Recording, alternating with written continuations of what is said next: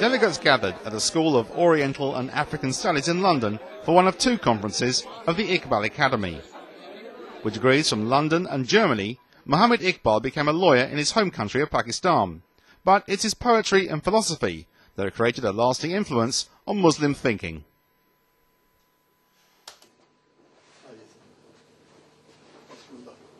Iqbal taught the spirit of tolerance and cooperation. He said that instead of just uh, sulking or criticizing or feeling inferior, you should say we have our strengths and the West have their strengths. We should neither deny our strength nor shall we uh, deny our own weaknesses, and the same applies to the West.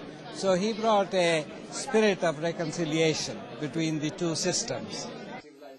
And from the start of this conference, Professor Durrani set out to demonstrate this by quoting from some of Iqbal's poetry. Thus, speaking of the strength of the Western civilization, Iqbal says, The strength of the West comes not from the dulcimer of the lyre, nor does it spring from the cavorting of veilless beauties. Its solidity does not stem from godlessness, nor does its ascendancy re- result from the Latin script. The strength of the West comes from science and technology. This is the fire that lights its lamp so brightly. Britain's first Muslim peer said he had not studied Iqbal's texts, but he was convinced of the relevance of his thinking today. This is also a fantastic event because it is about Iqbal, a bridge between East and West.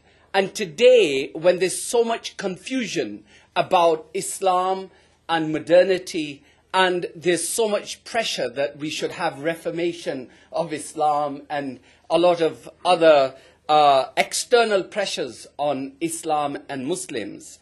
Um, I think that it is right that we discuss uh, amongst ourselves and with our friends that this uh, uh critical um, uh, uh, uh, modernization or reformation debate started long time ago.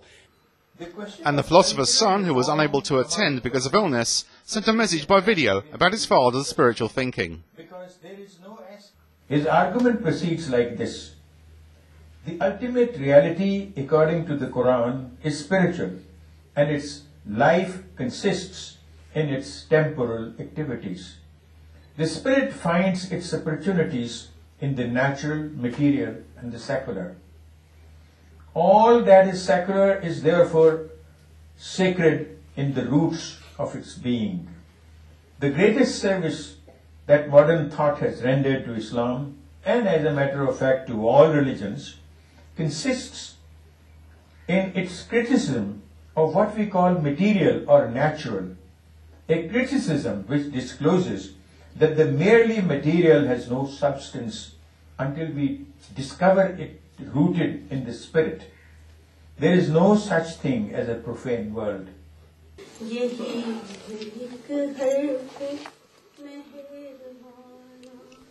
The first session of this conference ended with a recitation of Iqbal's poetry by Durdana Ansari, who works for the BBC World Service.